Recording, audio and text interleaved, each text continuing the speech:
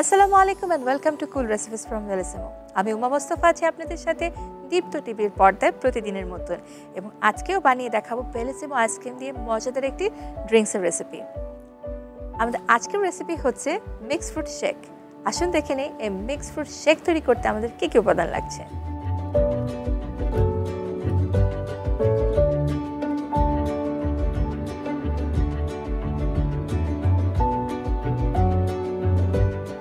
দেখে নিয়েছি উপাদানগুলো, এখন চলে যাচ্ছি মূল প্রণালীতে। আমি এই রেসিপির জন্য ব্যবহার করছি বেলিসিমোর ভ্যানিলা ফ্লেভার প্রথমে আমি যেটা করছি, আমি একটা ব্লেন্ডার নিচ্ছি। সেখানে আমি প্রায় পাঁচ থেকে ছ স্কুপ ভ্যানিলা ফ্লেভারের আইসক্রিম দিয়ে দিচ্ছি।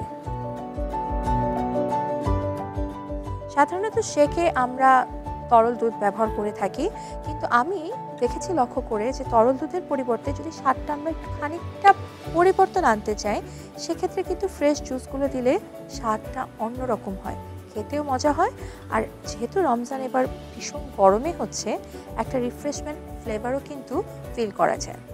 আমি এখানে ছটা স্কুপ ভ্যানিলা ফ্লেভার আইসক্রিম নিয়ে নিয়েছি। এখন যেহেতু বলেছি মিক্স ফ্রুট ফ্রুটস আপনার উপর ডিপেন্ড করছে বাট আমি আবারও বলব, এখানে আমরা এমন কোনো ফল দিব না, যেটা থেকে বেশি পরিমাণে পানি ছেড়ে দিতে পারে। তো সেক্ষেত্রে আমি আজকে এখানে ব্যবহার করছি প্রথমত কলা। আমি কলাটাকে প্রথমে কেটে ছোট করে নিব।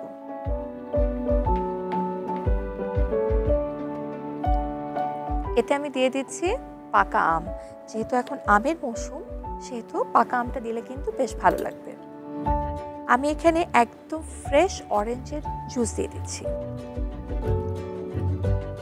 আমি দিয়ে দিচ্ছি প্রায় দু টেবিল চামচের মতন বেদানা। সেই সাথে আমি দিয়ে দিচ্ছি কিছু পরিমাণে চিনি।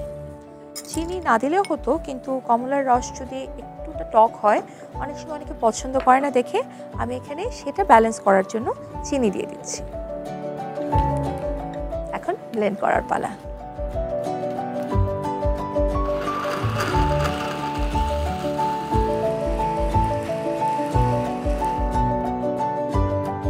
আমরা এখন এটাতে নামিয়ে খানিকটা কাঠবাদামের কুচি দিয়ে দিব।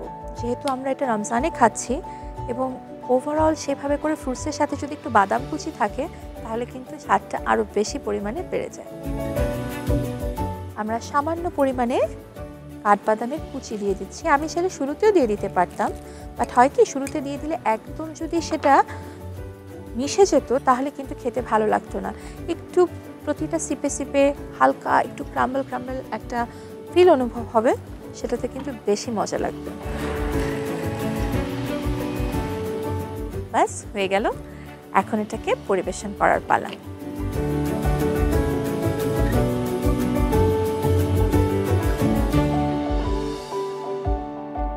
একদম উপরে আমি হুইপ ক্রিম দিয়ে দিচ্ছি। তবে হুইপ ক্রিমটা এটা দেওয়া ম্যান্ডেটরি না। যদি আপনার কাছে না থাকে, আপনি এভাবেও ঠিক পরিবেশন করতে পারেন।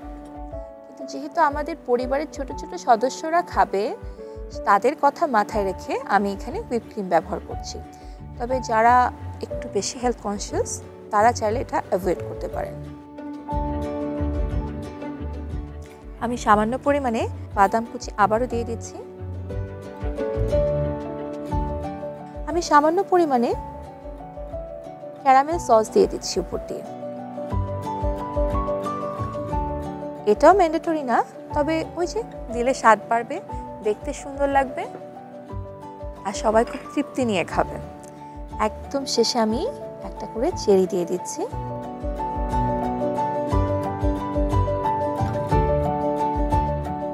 ব্যাস এইভাবে হয়ে গেল মজাদার মিক্সড ফ্রুট শেক আশা করি রেসিপিটি ভালো লেগেছে।